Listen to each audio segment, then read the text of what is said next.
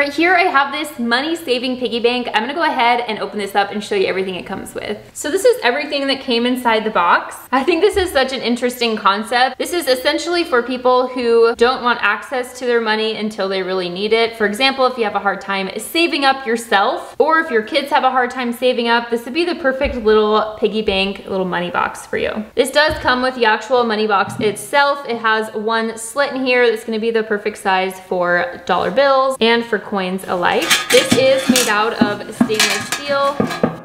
As you can see, all of the different sides. And in order to get into this money box, you actually have to break it. This does come with four little foam pads so that you can place it on the bottom of your piggy bank. That way it's not going to scratch any surfaces. And it also comes with some little sticker decals so that you can customize it and put your name or maybe what you're saving for or your goal money amount, something like that, which I think would be kind of fun. It does say when you are ready to break this open, the way they recommend doing it is wrapping it up with a towel and basically smashing it with a hammer and boom, it's open. Just for size reference, this is 4.72 inches in all directions here because it is a perfect cube. And the maximum capacity is 1.8 liters. If you're wondering how many coins or dollar bills this can hold, this can hold over 4,000 US coins or 700 or more US dollar bills, which I think is really cool.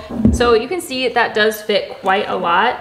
This is gonna be the perfect size for your bills. You can see that works perfectly there. There's plenty of room on either side. So honestly, whether you're keeping this for yourself or you're giving it to somebody who maybe is just starting to learn the value of money and you wanna instill those values of just holding on to your money, keeping your savings until a little bit later, or even just saving up for a year and see how much you can save, I feel like that would be a nice little challenge for yourself or a good friend or family member. And also, I like that this is such a basic look. You can use this as something to prop up some other things in your room while using it for a piggy bank at the same time. Or you can completely decorate it with the little decals that it comes with.